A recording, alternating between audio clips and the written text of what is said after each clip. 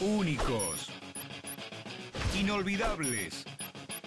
Gloriosos. Inigualables. Históricos. Inmortales. Todos los que hacen grande al deporte argentino están en Historias de Vida.